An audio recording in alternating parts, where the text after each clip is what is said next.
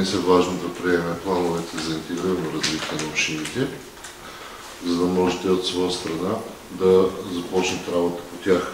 Наясно сме с политическата криза, която се задава. Всички ние на тази маса а, сме отговорни хора и нашите представи за бъдещето не почиват на някакви иллюзии. Въпреки това, трябва да направим всичко възможно развитието на областта да не спира, колкото и да е трудно в днешните времена. За всички проекти стои административния капацитет. А административният капацитет, с който разполагаме, ако в актуализацията на бюджета не залегне заделяне на целеви средства за помощ на общинска администрация с финансови средства, т.е. с увеличаване на заплатите, ще изтървем малко административен капацитет, който наличен в общинска администрация. Нашите природни дадености са много, едни от които са пещерите ни. Една голяма част от тях са облагородени, но за съжаление законодателно не е регламентиран реда, по който да бъдат стопанисвани. В момента пещерите са в ръцете на юридически лица с нестопанска цел, нали, по никакъв начин приходите от тях не се ползват за местна инфраструктура. А достъпа до тези стратегически обекти се извършва по нашата общинска инфраструктура, която ние сме задължени да поддържаме, да правим подпорни стени след бедствия, да закърпваме дупки. В тази връзка се мисли в тази насока. Едно от предложение е да бъдат предоставени на общините, както са ни предоставени минералните находища. Всяка една фирма, която си позволи лукса да произвежда в областта, да създава заетост, трайна заетост, просто да бъде освободена от плащане на корпоративен данък. Поради факта, че си позволява лукса, повтарям още веднъж, да създава заетост в райони, които са трудно достъпни, в райони, които са обезнодени и в райони, където тази заетост ще изиграе изключително важна роля за това, поне останалите хора, които продължават да живеят в този район, да не мислят как още на следващия ден да хванат автобуса за Пловдив или за София и да станат просто едни туристи за родопите. Само в дейността детски градини, която тази година парламента направи с решението за бюджета безплатно, ние към днешна дата община Рогозен вече е изхарчила цялата си годишна субсидия за ток, издръжка и храна на децата в детските градини. След като държавата е решила, че ще бъдат безплатни, какво правим тук на след? Защото моето намерение е на 6 или 7 септември да не отворят детските градини, ако няма актуализация на нещо. Откъде да дойдат тези? Поставянето на темите, свързани с регионалното развитие, когато държавата се тресе и се опитваме да стабилизираме а, страната ни, едва ли е най-удачният момент сега.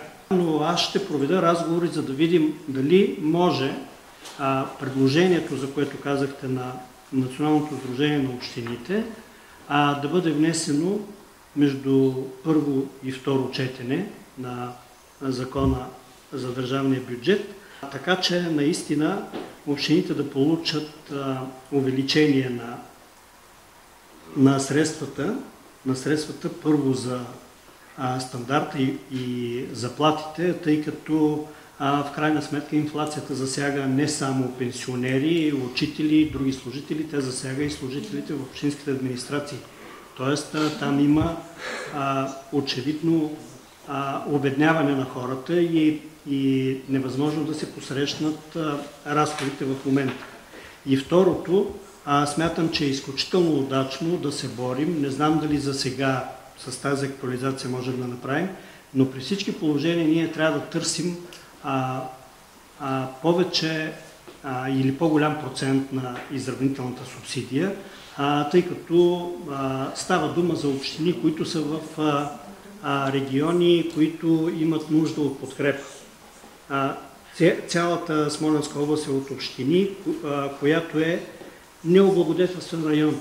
И след като е необлагодетелствен район, все пак общинските администрации трябва да поддържат едни минимални стандарти на на обслужване, минимални стандарти на, на социална политика, образователна политика, така че а, когато не могат да увеличат а, приходите си по една или друга причина, а, те, да, те да могат да поддържат въпросните минимални стандарти. Този разговор може би един от важните разговори през следващите месеци и смятам, че трябва да, да говорим повече по тая тема, да лобираме повече, да се срещаме повече, да настояваме, да може изравнителната субсидия да бъде обвързана с предоставянето на минимални стандарти. Би било добре това, което предлага и заместник кмета на Смолен, господин Захариев, е поради това, че има много добри идеи, които са в програмите на общините, те до голяма степен са общи, така че в един момент да, да бъдат изготвени интегрирани проекти между няколко общини и сега поради тази причина бихме могли да започнем подготовката за новия програмен период, който вече е за развитие на регионите.